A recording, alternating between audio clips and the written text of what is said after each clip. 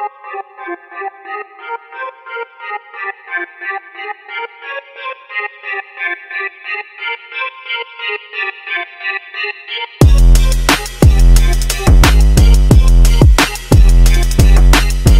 आज के ब्लॉग में मैं आपको लेके आया हूँ भिलाई के सेक्टर सिक्स पेट्रोल पंप वाला जो एरिया है ना जस्ट उसके पीछे साइड पे पुलिस लाइन पड़ता है मतलब पुलिस ग्राउंड बोल सकते हो।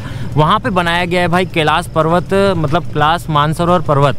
और यहाँ पे आप लोगों को बारह ज्योतिर्लिंग का झांकी देखने को मिलेगा।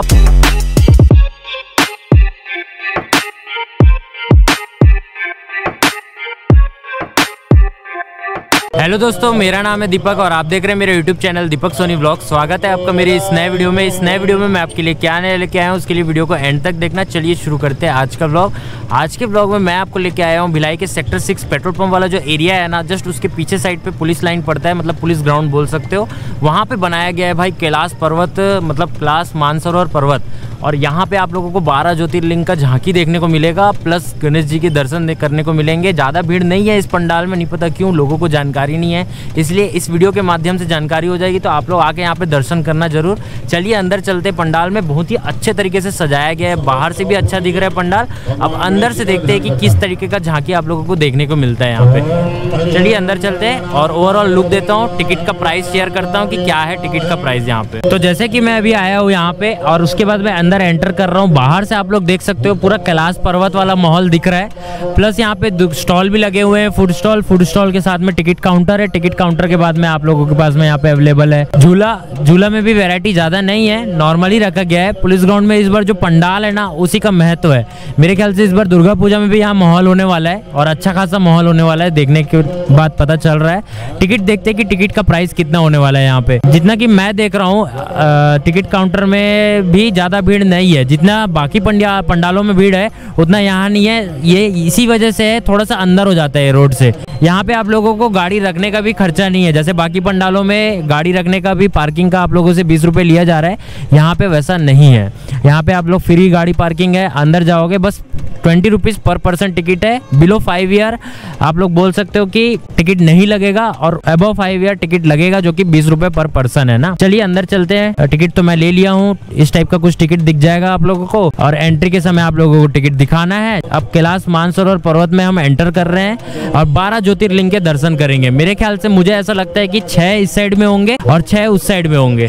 चलिए अंदर चलते हैं और देखते हैं कि ओवरऑल सबसे पहले क्या दर्शन करने को मिलता है हमको। तो जैसे ही आप एंटर करते हो, आप लोग को सबसे पहले देखने को मिलता है रामेश्वरम। रामेश्वरम में जो झांकी है, वो आप लोग देख रहे हो नॉर्मल कैटेगरी का दिख रहा है, पर जो ये बनाया गया है ना, जो ब्रिज उसको राम सेतु को दर्शाया जा रहा है। उसके बाद जैसे जैसे हम धीरे धीरे अंदर बढ़ते जाएँगे तो रामेश्वरम के बाद हमको मिलता है मल्लिका अर्जुन देखने को।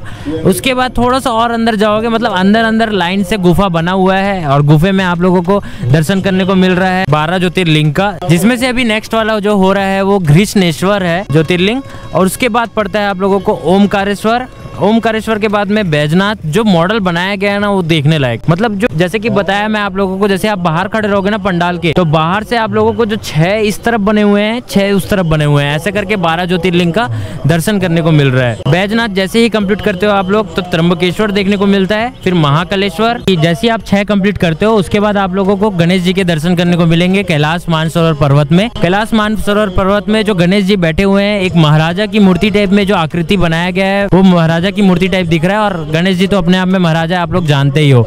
उसके बाद जैसे ही आप दर्शन करके गणेश जी का निकलते हो तो बाकी के छह ज्योतिर्लिंग अभी भी बचे हुए हैं, जो कि सबसे पहले जो आप लोग जैसे ही गणेश जी के दर्शन करने के बाद आगे बढ़ते हो तो आप लोगों को मिलता है महाकालेश्वर। महाकालेश्वर से थोड़ा सा गुफा में और अंदर एंटर करोगे तो मिलते हैं काल भैरव काल भैरव के बाद में सोमनाथ सोमनाथ के बाद में भीमशंकर नागेश्वर, काशी, विश्वनाथ, ऐसे करके धीरे धीरे आप लोग जैसे जैसे अंदर जाते जाओगे, आप लोगों को दिखते जाएगा।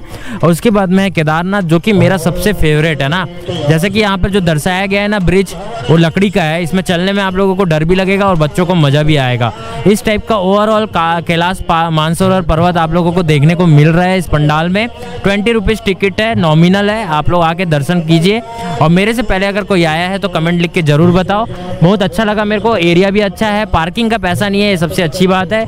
स्टॉल भी लगे हुए हैं फ़ूड स्टॉल प्लस झूले की भी फैसिलिटी है, जो कि नॉर्मल है ना। मतलब ज़्यादा झूला भी यहाँ पे रखा नहीं गया है नॉर्मल ही रखा गया है आप लोगों के लिए। तो ओवरऑल मेरे को पंडाल जो था, वो बहुत बढ़िया लगा ना। मतलब बाकी तो रोड में हो जाते हैं, ये थोड़ा सा अंदर हो जाता है, इस वजह से यहाँ भीड़ नहीं है, लोगों को जानकारी नहीं है।